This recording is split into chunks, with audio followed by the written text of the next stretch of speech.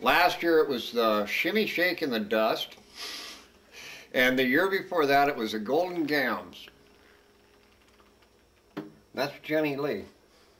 She and Charles Arroyo, who owns the place now, uh, founded this initially down in San Pedro. And they moved up here in 1981. This place, whole place was condemned. It used to be a goat ranch. Yeah. So uh, Jennie didn't move up here until about 86 because it took that long to put everything together. But these girls, I've got a dressing room table, I mean a, a dressing room trailer over here, and they do their preliminary makeup and costumes. Mm -hmm. And then they come around this way and they have another dressing room in the back that they go into and finalize their preps, mm -hmm. and then they go over here. I'll show you where the pageant is. But I'm over here trying to flip hamburgers, and here the here comes these beautiful women wearing almost nothing, and I'm trying to not drop the hamburgers on the on the ground. I mean, it, it's crazy.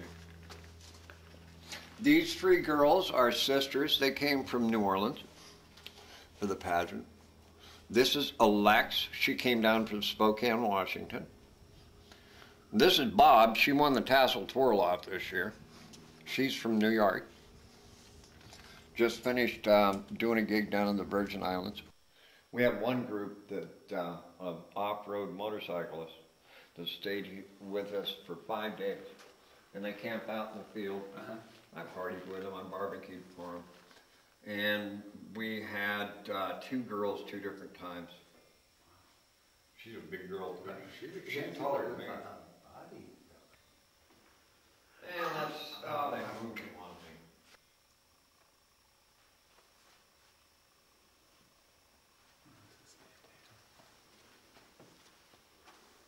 And then here we have Catherine D'Lish in 1996. And as you can see, we had a pretty good crowd then. But every year it gets bigger and bigger and bigger, and it's like, no, I'm going to have to move the fence.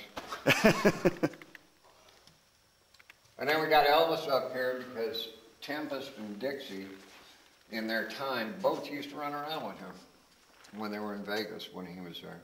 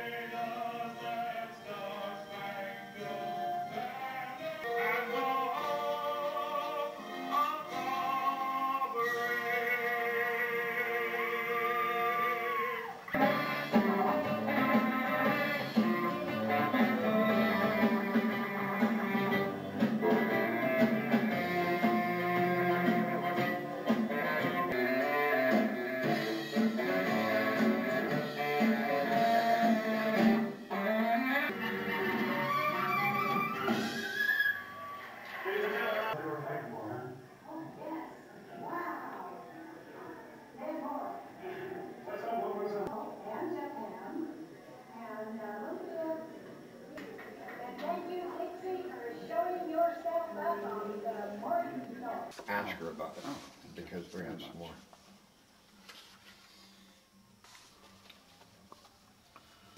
I think a couple of them are donated. We need to see Hello, Dixie. Hi. It's great to be here. We had a little trouble finding you, but well, I'm very glad you're here. Your directions were, were great. Oh, good, yeah. Uh, I, I don't usually have this, but I was sick for two years and finally had a major surgery, so. I'm walking a little strange right now. The Doctor no doesn't want me to fall down.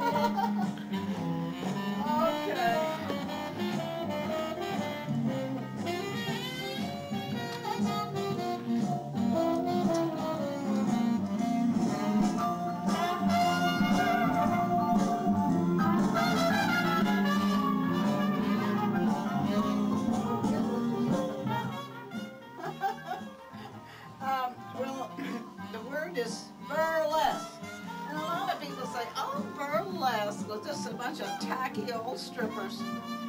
Actually, burlesque is thousands and thousands of years old. Aristophanes up there above the shadow box is known as the father of burlesque. Because you see, burlesque is comedy, mimicking the real and exaggerating. That's what comedy really is. You see, he realized 5,000 years before Christ, if you're an urchin in the street, you have nothing. What's funny to you? Nothing. But if a coach pulls up, it's got gold wheels, and the people are dressed so totally elegant, and then they step out of this elaborate coach and they fall in a mud hole. now that's funny to the person standing out there who has no hopes of ever having anything. So that's the core of burlesque and the core of comedy. Now, uh, we know the first exotic dancer, at least to my knowledge, was Salome and her seven veils. That's the first one. And then, of course, down through the ages, we have had exotic women, such as uh, Mata Hari, uh, which you know executed by the French firing squad. That's her in the little four pictures there. Some journalists brought me over from where she lives right, right, really right across the street from where she lived. At any rate, uh, also Josephine Baker, there's thousands of them. But in the shadow box alone is the one and only American icon, Sally Rand. Yeah. Now, Sally Rand saved Chicago from financial ruin with two fans. And at the end of this tour, you're going to see the fans that saved Chicago. yeah, that's true. This talk in this little box we keep that money in our pocket. We don't have to travel anymore. But you know, girls like the Foster sisters, they had to join the burlesque show so they could keep working. And the theaters were tickled to death to have the fallout from uh, vaudeville into burlesque because it pumped up a lot of talent. Now, I was the Marilyn Monroe of burlesque. well, that used to be me. You said you couldn't ever really meet or see the real Marilyn. Well, you could have come to the Burlesque Theater and see me. Oh, I might have shown you more than Marilyn, too. and she tried to sue me, too. Did she? Yes, Yeah? you'll see about that. And Marilyn and I are both the same age, and we're both from Hollywood. okay, enforcement and all of that. And we have to have these lights put in, uh-huh. which is very good and Oh, important. yeah. You know, because see, if the power fails, the lights oh, go Let's on. go on. Yeah. Which is, I don't know how it manages to do that, but it does. But it's costing a lot of money to do it, but we, but anyway, they just leave everything and then I gotta try to put things back together. At any rate, this was used in the very last big burlesque show by Angela. She is a hairdresser in San Diego. I just talked to her yesterday. Um, this was made by a girl when she was 17 years old, Sheila Ray. She is a retired nurse in Oxnard, California. And then, of course, on these walls, you will see pictures uh, that you probably will never see in a large collection like this again of the era. Now, the third row down, second one over, is a horse right from Trigger. That horse's name was uh, Melody, and the girl's name was Frances Dubé. Now, she did the act of Lady Godiva. So if you were sitting at the big burlesque show, you know, and the big velvet curtains opened up, why, she would be prancing on stage. My lord, my lord, you must lower the taxes on the poor people. But I will not lower the taxes on the poor people. My lord, you shall. For if you do not, I will ride to the streets of Covington nude on a horse. And as we know, Lady Godiva did make that statement for the oppressed people of her time. So uh, there again is an example of what these girls used to do to really entertain, to put on an act. We had so many. We had a lot of tassel uh, tossers and different types. Now names were clever and equally important. Uh, Cupcake Soul Mason. And then we had a tabby cat, a Harlow Angel, Kathleen McNamara, the unpredictable Wild Irish Rose. So if you see that in the paper, you're going to say, let's go see See, just how wild that yeah. gal can get. because there was no television for these girls to advertise or anything. It was just according to the newspaper. And that's Fred Astaire's cane up there that he used at, at Fox when he would rehearse. It was for Flight of the Bumblebee. Yeah.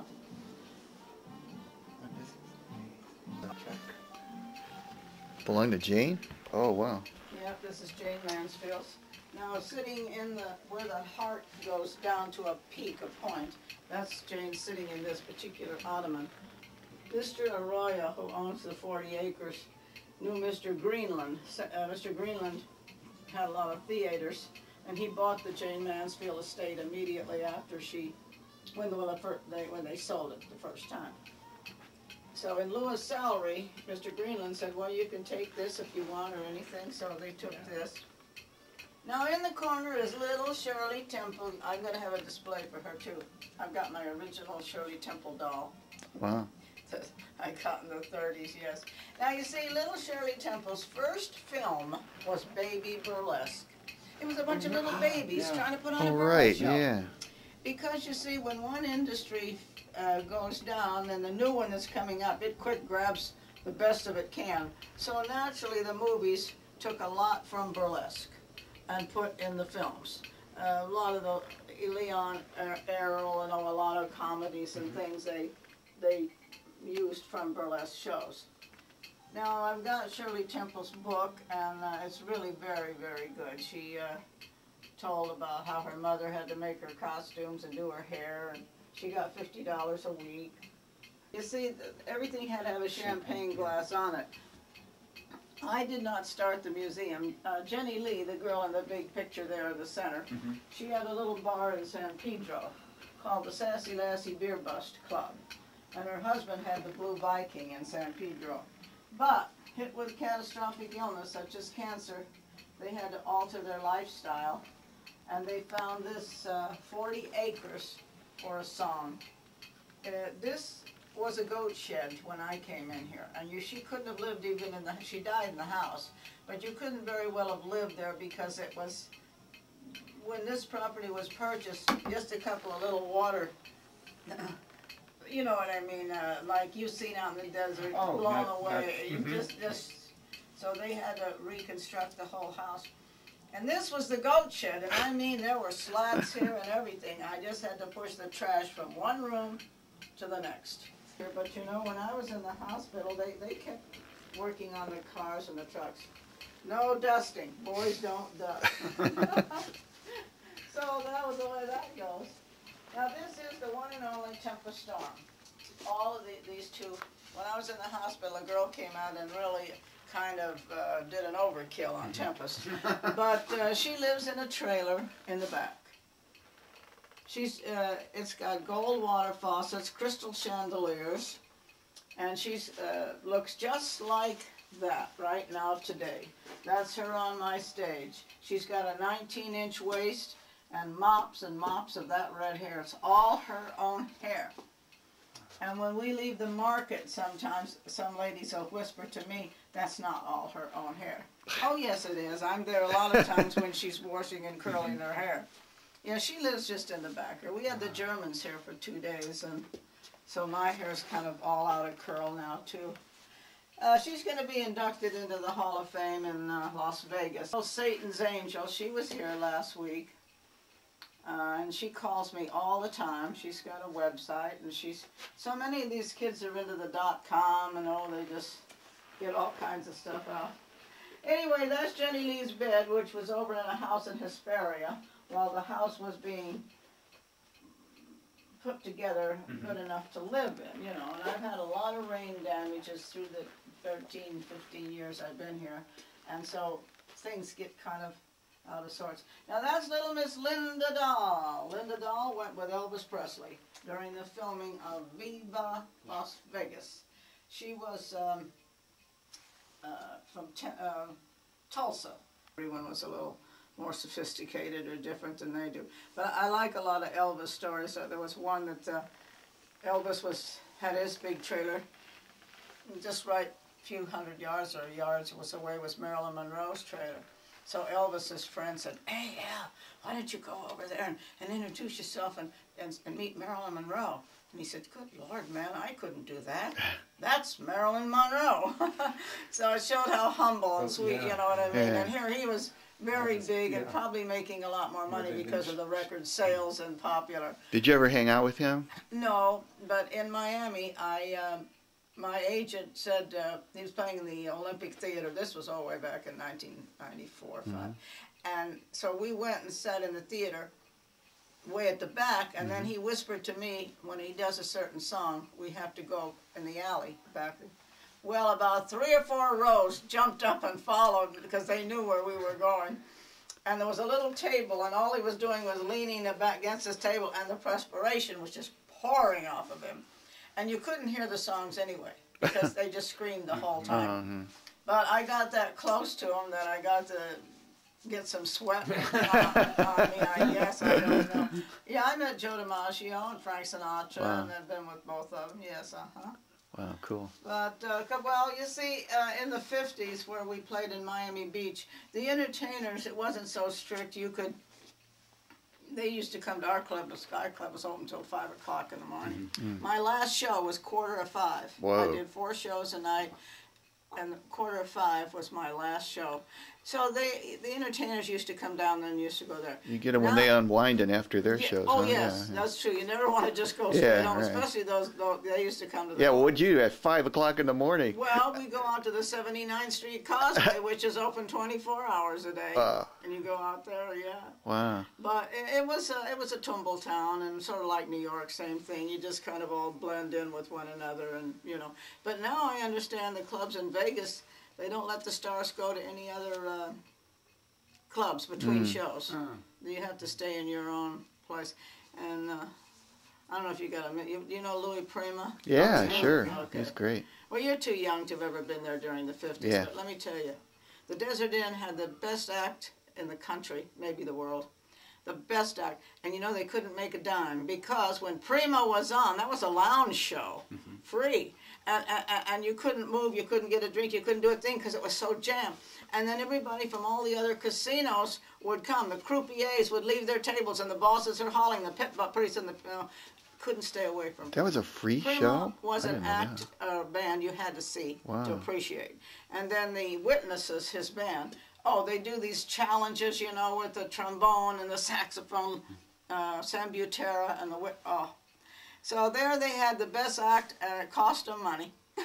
Yeah, Because you couldn't move, you couldn't get to a bar, you couldn't do anything. It was Wow. just jammed solid, and he, he just mesmerized the audience. Now, I was very fortunate. I got to sit in a great big booth because my husband, the fighter, uh, was very good friends with Willie Pastrano. He was just made champion of the world. He was from New Orleans. And uh, so was Prima. So uh, Prima and Willie Pastrano, they had this big circle booth in the corner. So us being prize fight, we got to sit and I got to visit with Prima. But an entertainer can't talk between shows there, so Yeah. Mm-hmm. no, God, especially Prima. Oh, Keely Smith, I just saw her a couple years ago, yeah, in Vegas. They're still the same, but I tell you, Prima was Prima. now, the comedians and the comics, now they were the backbone of the show. We girls used to laugh and hee-haw and hee-haw, uh, peek through the curtains, because, see, our comedians were never permitted, ever, to swear or use a filthy, vulgar word on stage. They didn't have to. They were just dumb and silly and funny and would pull these silly, stupid antics all the time. And um, they were the backbone of the show because you see, you kids are so long, young, it's almost impossible for you to realize there was a world out there before television, you know. and between all the lovely acts on the burlesque show, now out come the comedians. They're always broke. They're always skirting the law. They're always trying to get by on a day by day basis. Same thing as that audience is out there. That audience is trapped with no money, no job, and no hope. The only thing they had was to fall into one of these little old burlesque theaters. If they didn't sell a vacuum cleaner, they'd have to go home to their family. So the burlesque theaters was a very wonderful venue for the American people of that time in history when there was nothing available to them. In fact, the working class people were made to feel inferior and undesirable. So, for the sake of the Minskys, I, we could produce shows for these people for just a few pennies in the afternoon and a little bit more at night. And so that was the, uh, and also the big success of the burlesque theaters, no stage weights. Boy, that show just rolled like that. And that public loved it because they didn't want to have to think of what's happening outside, that they spent their last dime to get into this theater. But when they went out, they were happy because it was a little release. So a lot of these uh, uh, burlesque big stars from the 40s, they most of them stemmed from the uh, burlesque show. Now this is the very first and the oldest burlesque theater in the United States, the Old Howard. There's the H, Boston, Massachusetts. It was a church in the 1700s, and then it became a burlesque show. Now they've torn it down and they put City Hall over the top. I guess they said, let's just bury everything here in the basement and put the City Hall over the top of it.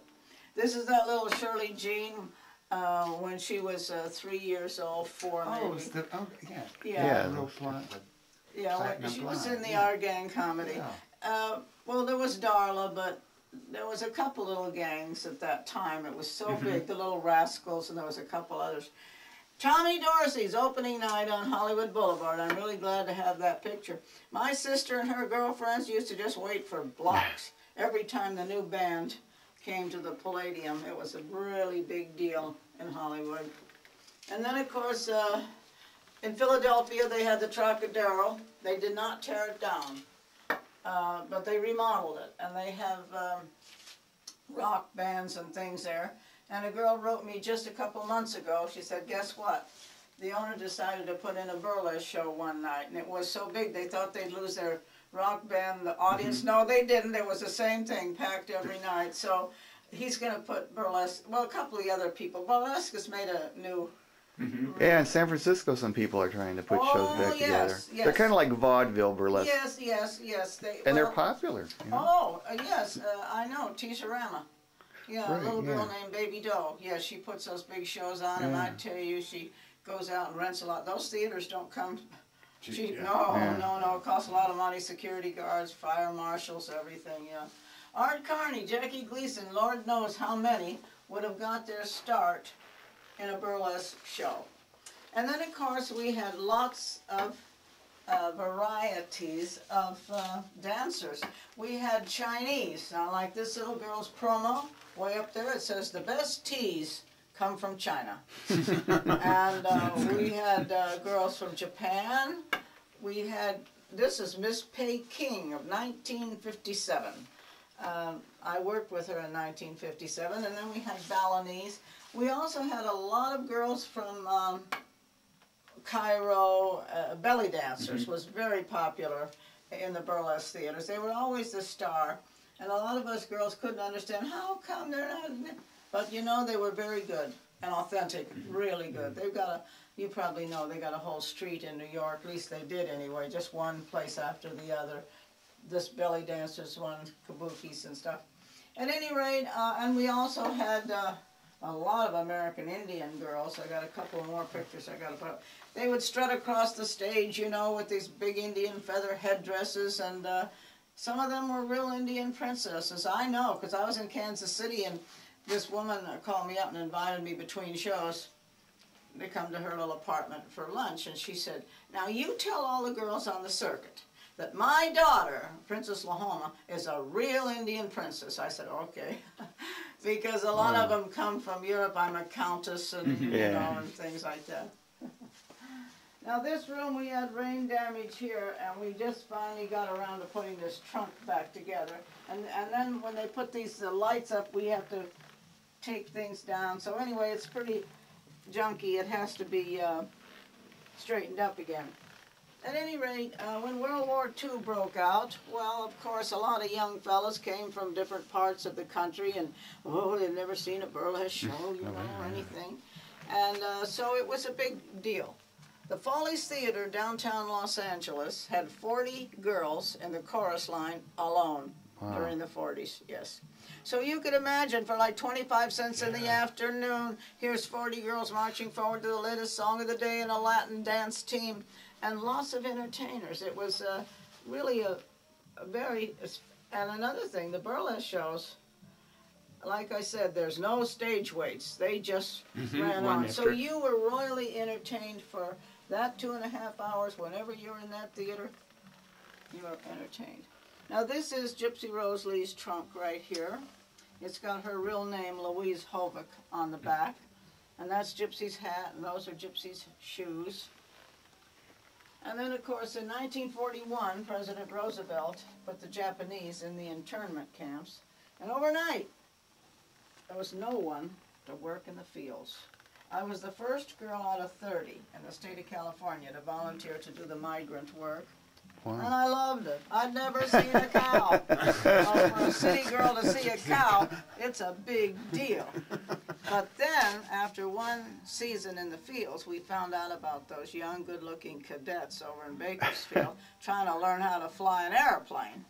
So I transferred my war efforts over there, and uh, uh, that's a training plane. There were several different types of training planes.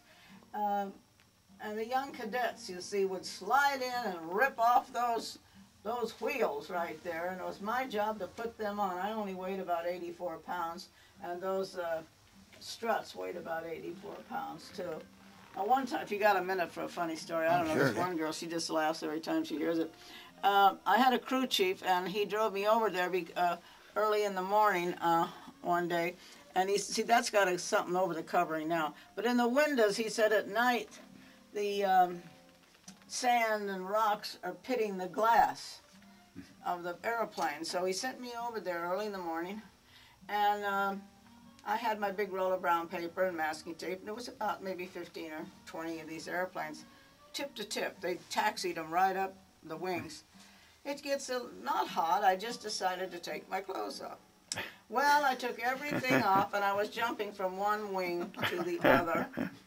And then, and then all of a sudden, you know, I see little jeeps and flags. Well, you see, on every airfield, I found out they have a tower, and there's a fellow on duty up there with binoculars. You have to look for uh, fires uh, uh, on an airfield. Well, They weren't looking for fires No, right. at that point. No, and so now he calls another fellow to come up, and he says, "My God," he says, "You'll never believe this. There's a naked blonde out there jumping from wing to wing on the airplanes." He says, and so he says, "Quick, get the get the uh, uh, major." Get them, and so they, all of a sudden I'm I'm still naked, jumping, running on these wings, and now it's getting a little warm, it's getting a little hot, but I didn't care. Uh, now I see a little teeny weeny jeep like this, because you know once real far away how little they look. Oh, I got plenty of time. So then there was two two jeeps with little flags flying, and the other little jeeps are getting a little bigger, a little bigger. Pretty soon by that time I got my clothes on. I'm sitting on the wing of the plane, and the major says, "Is your crew chief Bud McCullough?" And I said, Yes, sir, he is. He said, Well, he went off the post and he came back drunk, and he said, uh, two, So we he's on a three day suspension. so he was never going to come back and pick me up uh, after lunch. So, you know. But anyway, he said, Get in the back Jeep back there. But I tell you, more crazy things happen on an airfield. When you're very young, they like to send you to do crazy things. Now, that wasn't exactly crazy because it was to cover the glass, Yeah. you know, with the paper, so the rocks didn't hit it. But anyway, But that's how you were in World War II. That's how Uh, you did World your War kind of II. bit in World War Yeah. II. I didn't realize that the Japanese were the ones that har- were harvesting, not Mexicans at that point in time. Uh, well, yeah, the Japanese controlled all of uh, California's uh, produce. And they lost that when they well, got well, interned, yes, that's pretty true. much? When, yeah. uh, but wow. President Roosevelt, uh, we they imported 10,000 Mexicans to work in the fields to take Wow. over, and the uh, Japanese. I heard them interviewed about 20 years ago. They never went back to the fields, and they were glad because uh, they went into different Yeah, things, yeah. and you know, That's and didn't go back to uh, the migrant work, and the Mexicans thought. took over. Who was going to pick the things after that? Yeah, it's Yeah. interesting. Yeah, it Cool. was. Uh, it was. Uh, we're, I, well, Blaze Starr. I worked in the celery fields. Hmm. Uh, Bla- uh, Tempest Storm picked cotton. Wow. She was a cotton. Can you imagine that? Wow. A gorgeous, beautiful girl, yeah, a cotton yeah. picker. and Blaze Starr, uh, hoeing corn and picking ginseng. Yeah. Wow, that's amazing. I did not want anything in this room except Marilyn Monroe. But since she did it, I couldn't say a thing about it because she did buy the material and did a lot of things. So that whole wall is me. And that's where it says, gentlemen, I must inform you I'm the attorney for Marilyn Monroe, where she was going to sue me. Now, I think the reason she didn't sue me was I would assume that her attorney probably said, "Through Marilyn, why are you suing this girl? She has nothing, you have everything. Because in 1956, she had more than any human being on the planet, and probably since then, I would imagine. Now, see, I was not the Marilyn Monroe of Burlesque. I didn't call myself that, no. I'm from Hollywood, and I did a little act. What does a girl have to do in order to get a job in the movies? so, I.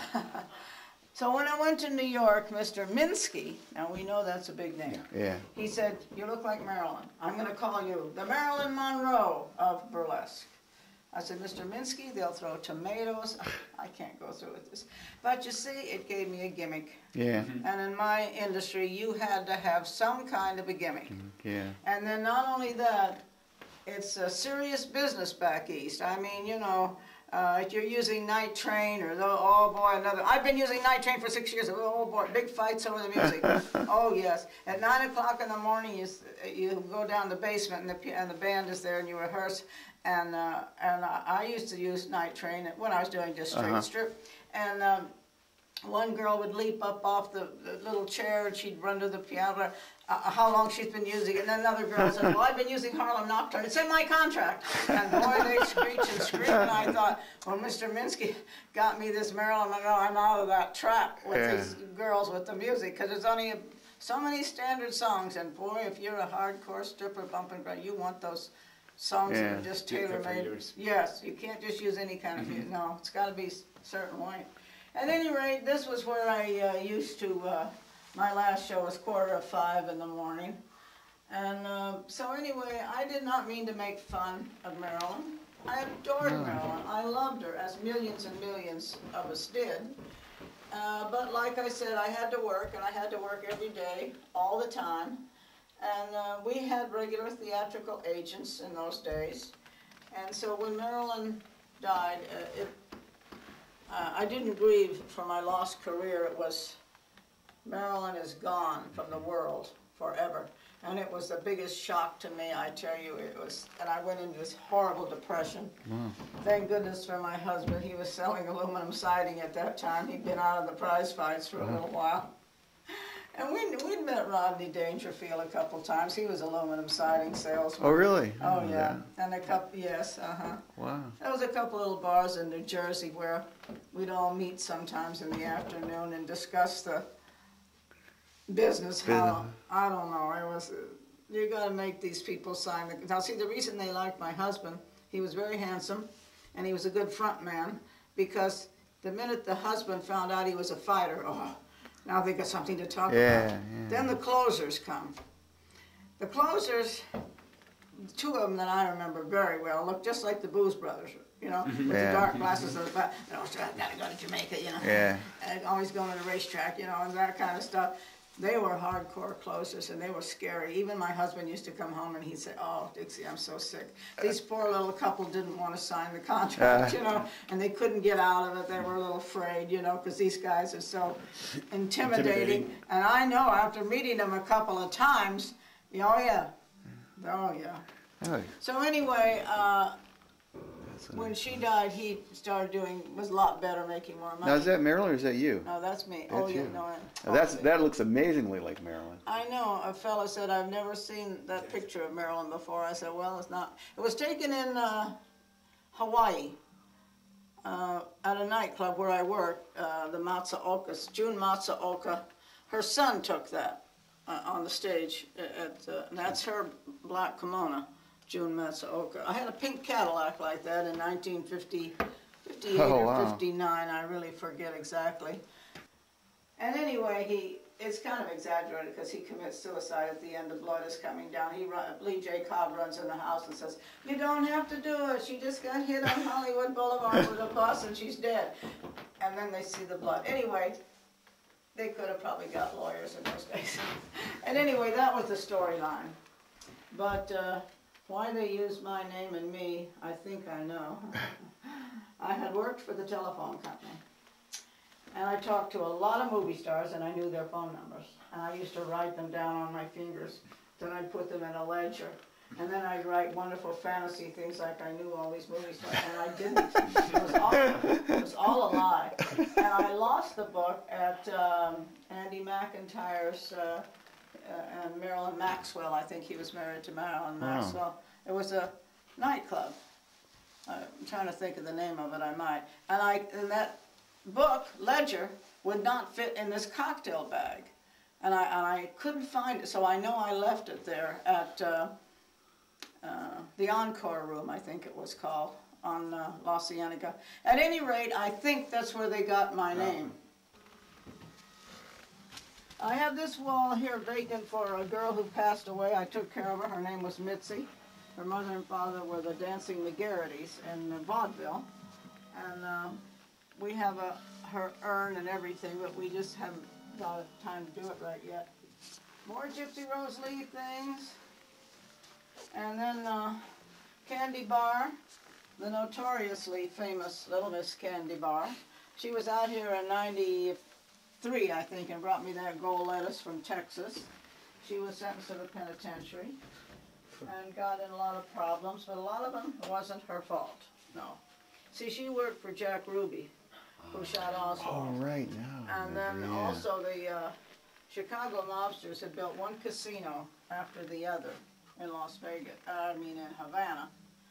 So they wanted to take uh, Cuba back right after Castro. So there were five people waiting in Havana the minute the demise of Castro happened. And Jack Ruby had smuggled things many, many times uh, into Cuba. So they said, Jack, your job is to take the poison cigars to Castro. Well, uh, he had no trouble getting in and out of customs because he'd been going in and out of Cuba for a long time, Jack Ruby. Well, Castro is a very huge man, and he rallied on his deathbed for two weeks. But when he got off of that deathbed, he had those five fellows executed immediately because he sort of had a hunch that they were trying to take over, you know. Yeah. So uh, they, that deal fell through. Uh, they um, sent Candy Bar to a nightclub in Washington D.C. to keep all messages going to the president, but it didn't work any longer. Everything fell through. At any rate, she she did have to go to penitentiary, and she knew a little bit about a lot of things. Now this is the wonderful Blaze Starr. I'm in touch with Blaze Starr. That was worn in the motion picture Blaze. And those are the underneath things uh, that Blaze uh, had. Uh, yep, she, she's the one that I tell you was hoeing corn and picking ginseng. Yeah. she's right back uh, where she started from. When she made all her money, she added a couple of rooms on the house in the, what they call the holler, you know, in West Virginia. Mm-hmm. Yeah. Yeah, she, she, now that's a smoking couch. Her lungs are in very bad shape right now. See, I don't have enough room to display things properly, you know. Because if I had enough room, you know, big place, you know. Gosh, if I had the money they spend in Vegas, just one little flat, yeah, really. I could build a great, I got a lot of things in storage too. The one and only Lily St. Cyr. There she is with Eleanor Roosevelt. Lily St. Cyr, we all looked up to Lily, every one of us. She was just incredibly beautiful, incredibly talented. All of her acts were very special. Can you imagine coming on stage with a real matador? Uh, that act was called Carmenescu. In fact, all of Lily's photographs have a name. They're not just a number. And of course, the uh, do the ballet in the front with the matador, and then um, the, then you'd hear the uh, bull goring the matador to death, and then you see the, the him going off in the gurney and the stage way up, you know, and his cape. Ah, his cape was encrusted with jewels and real elaborate and ballerina. She said, Grandma, that's what I want to do. So her father was giving her dancing lessons. But there's a song. How you gonna keep 'em down on the farm after they've seen Paris? Her father, handsome captain in the United States Army, well, he fell in love with a French girl in Paris, and he never went back to the Ozarks. Sally was uh, 12 years old, plucking feathers out of chicken, chopping wood, and on her 13th birthday, a carnival came through town. and away went Helen Gould Beck. Well, she was plucking feathers out of chicken and chopping wood, and all of a sudden, on her 13th birthday, uh, a carnival came through that itty bitty town, and away went Helen Gould Beck. She danced all over the United States in circuses and carnivals, but in 1926, she signed a big movie contract with Cecil B. DeMille. Everything is wonderful for her. He gave her the name of Sally Rand, and uh, uh, she brought the mother out from the Ozarks, her little brothers and sisters. She put a deposit on a little bungalow in Hollywood. And then along came talkies, and she had a lisp. Came across the screen like a sputter and a hiss. So Cecil B. DeMille canceled her contract. She's washed up. She's finished. She hadn't got a dime. She did have enough money to scramble to Chicago. She opened up the big newspaper. There it is, auditioning this afternoon at the Paramount Club. Got to get a job. Well, she hadn't finished her ballet dress because she had studied ballet. She was never going to give that up. So she had picked up these two fans on the way to the, uh, from a thrift shop on the way to the hotel in Chicago. She grabbed the fans, jumped in a cab, ran down, auditioned, got the job. That night, she had her beautiful chiffon gown on and she did her ballet. The people liked it. She'd do back bends and while they're drinking and visiting. And the boss said, I didn't like that act. I like that thing you did this afternoon with no clothes and the big pink fans. Well, now we have the most famous fan dancer in the entire world, Miss Sally Rand. 1933 is approaching, the big World's Fair. This is going to be the biggest thing that's ever happened to Chicago. And people within a thousand miles of Chicago are hoping and praying something's got to give. Something's got to break the back of the Depression. Well, Sally won a little part of that fair too, but the commissioner said, Miss Rand, this is a prestigious fair. We can't have the likes of anyone that's been working in a gin mill and a speakeasy on the south side. Not in this fair, missy. Well, she walked into the club that night. The tears are streaming down her face. She looked up at big Jim Gigliotti, the bartender, and she said, Jim, I bet you every bit of money in the whole wide world that if Lady Godiva rode in there on a horse, eh, commissioners at that fair, they wouldn't talk to her either The night before the World's Fair opened, they had erected this huge pavilion, a hundred dollars a plate dinner for all the elite of Chicago. There's a little promenade they can stroll with their folks, and on the other side is a little podium.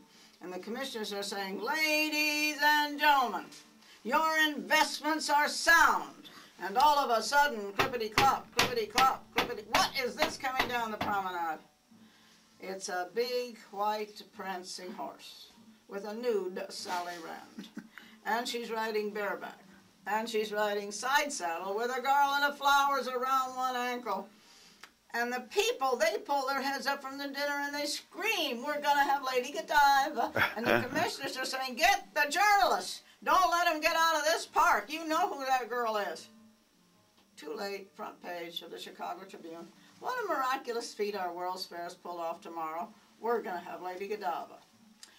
Every major news agency in America had called and said, we are on our way to Chicago. We want to interview uh, Lady Godiva. Calls came from Coventry, England. We are making preparation to come to America. We want to interview this person who is calling herself Lady Godiva. Well, they had to go down to the club and say, Miss Rand, we've reconsidered. We're going to book you into the streets of Paris at $75 a week. Within six weeks, they rose her salary to $1,000 a week. And she pulled Chicago out of financial ruin with these two fans. These are the original fans here that uh, Sally uh, had. And uh, she was tiny, real tiny. This suit she wore in the 50s. Time and she puts on, put on a big uh, show in uh, uh, Los Angeles at the Palace Theater downtown, $3,000, uh, a uh, fundraiser, and she's my best supporter. so, That's what know. happens. Yeah, that's Okay. Margie Hart up there. Now, she was married to uh, Assemblyman John Ferraro. I don't know whether John Ferraro is still alive, I'm not sure. Really. Yeah, he was married to Margie Hart, yeah. Okay. Well, thank you very much. Well, thank you for your donation. That was really, really nice. And uh, you know where we are. thank And I hope sometime you get to come back again. Yeah, we would well, love to. we have new things happening all the time, you know. Yeah. Great. Thanks. And Thank you thanks for so letting me take much. pictures. okay, yeah, anytime. You don't trip over that. that would have been a good one, huh?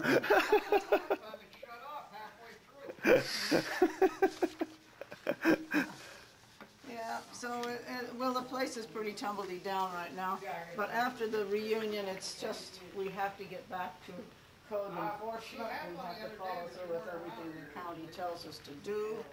You know, those lights, not only the lights, the electrical, a lot of things. And then for them to come out and inspect the place, that's, they charge you three hundred Yeah, that's always a pain. dollars to come out and inspect, you know, so it goes on and on and on. Yeah. So we have to comply with them because we already went to an attorney and they said, you have to do to everything do they it.